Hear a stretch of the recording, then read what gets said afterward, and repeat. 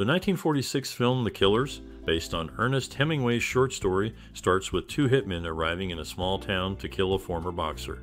The story then unfolds in flashbacks as an insurance investigator tries to find out why. This movie takes you on a journey through a man's life and his fate, leading to many unexpected turns that are funny, shocking, and sometimes sad. Have you ever watched a movie and a certain scene just stayed with you? In The Killers, there's a moment that might just do that. It's when the hitmen confront the boxer and he accepts his fate without running. It's powerful and leaves you thinking about life and choices. Movies become classics for many reasons, but The Killer stands out because of its storytelling and the way it captures the essence of fate and consequence.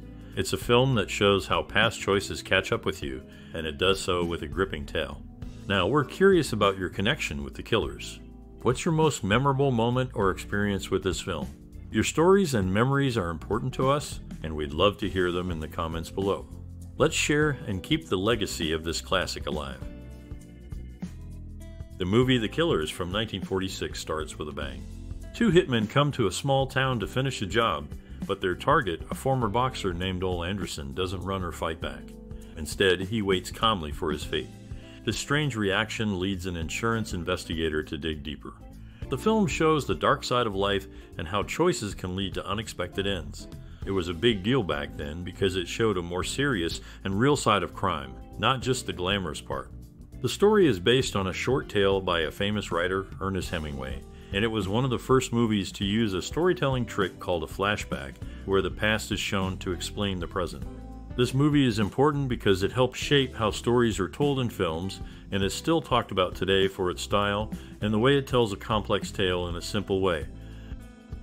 In his early 30s, Burt Lancaster transitioned from his acrobatic performances and military service to the silver screen, making his debut in this notable film. Alongside him, William Conrad also marked a milestone, earning his first screen credit. Fans of the genre can revisit the experience through an old radio adaptation, included in a dedicated film noir DVD collection. This film stands as a significant point in both actors' careers, marking Lancaster's cinematic entrance and Conrad's credit inception. Ava Gardner, celebrated for her striking features, left a lasting impression on and off the screen. Her legacy extends beyond her film roles, with a museum in Smithfield, North Carolina, dedicated to her life and work where fans can connect with her story. She rests at Sunset Memorial Park, her memory preserved in the hearts of many. William Conrad, another notable figure, owned a piece of cinema history, a lead Falcon prop from the Maltese Falcon, which fetched a record breaking sum at auction. This prop, along with its resin counterparts, holds significant value, much like the fabled treasure in the film itself. These items, steeped in Hollywood lore, continue to fascinate collectors and film enthusiasts alike.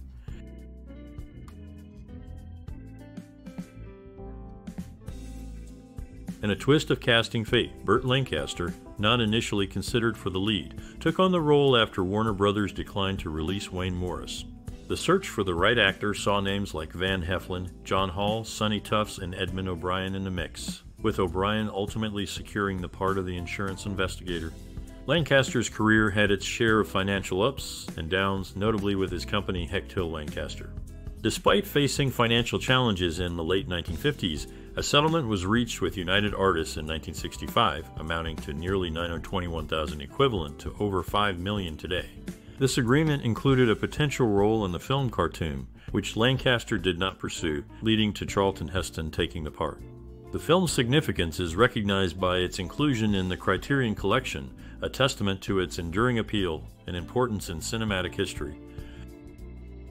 The film holds a special place for its writer as the opening sequence stays true to his short story from 1927 using the original dialogue. This faithfulness to the source material extends only so far, with the remainder of the film exploring unanswered questions about a character known as the Swede. The writer himself acknowledged the story's depth, noting it had significant omissions. In the film, Burt Lancaster's character is often referred to as Anderson, yet the correct spelling from the story is Andreson. Lancaster's career was marked by his roles in several critically acclaimed films, eight of which were nominated for the Best Picture Oscar. His filmography includes notable titles such as From Here to Eternity, which won the award, among others like The Rose Tattoo and Judgment at Nuremberg.